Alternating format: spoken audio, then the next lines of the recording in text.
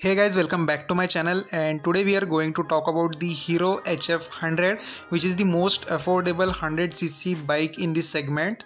So in this video we are going to talk about what all the features we get in this bike.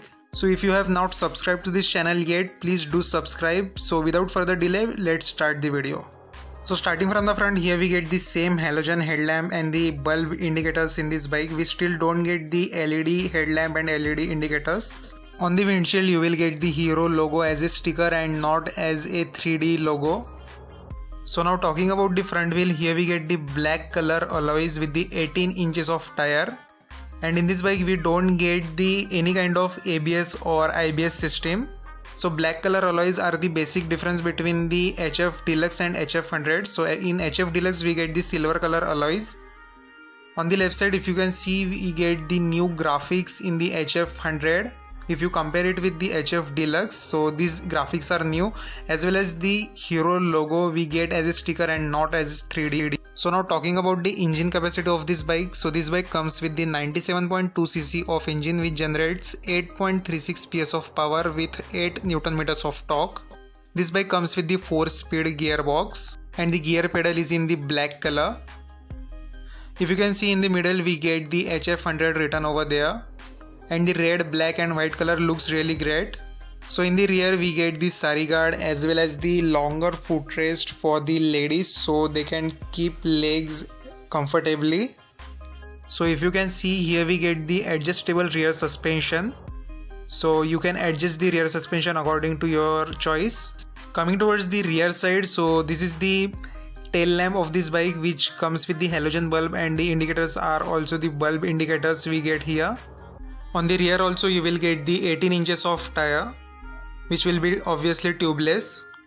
So in this bike the silencer guard is in the black color and in HF Deluxe we get silencer guard in the chrome. So this is the basic difference uh, Hero have made in the HF 100 and HF Deluxe. So in this bike we only get the kick option and not the self start option and same you can see here HF 100 written over there and all the graphics in the right side as I said we only get the kick option in this bike and we don't get any kind of self start option. So we also get the brake lever in the black color as well as the catalytic converter is mounted beside the brake.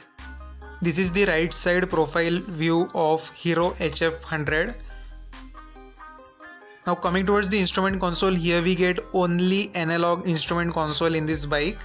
So the information you will get will be limited here we get the speedometer the fuel gauge indicator the uh, lights and the engine malfunction light and the indicator lights. So now coming towards the fuel tank so this bike comes with the 9.1 liters of fuel tank. So mileage of this bike is around 65 to 70 kmpl which is very great.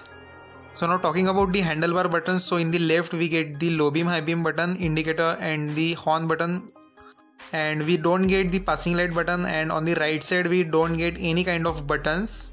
So now coming towards the mirrors so mirror size is great and you will not face any kind of issues while uh, looking in the mirror. Talking about the seat of this bike so seat here we get the single seat in this bike and the cushioning uh, of this bike is average. I would not say it is very soft and very hard it is in the medium. Talking about the rider seat so it is very comfortable for riding this bike in the city now talking about the pillion seat so pillion seat is also very much comfortable for this city riding. This is the another difference of the hero hf deluxe and hf 100 so this is the grab handle which got changed in the hf 100 so basically what hero has done with this bike is they just did a cost cutting uh, they just replaced the 3d logos with the stickers and the grab handles with the simple grab handle and the uh, chrome parts with the blackout parts uh, just to make this bike more affordable in the uh, market. So as i said mileage of this bike is around 65 to 70 kmpl which is great. So basically in this bike we don't get any kind of additional features like abs or ibs or the digital uh, instrument console or the drls or the leds and we don't we also don't get any kind of chrome parts.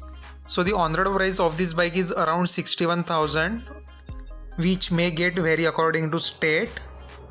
So guys if you are looking for the most affordable 100cc bike and more mileage giving bike so this is the option for you. But you will not get any kind of additional features like self start the DRLs and the IBS or ABS systems.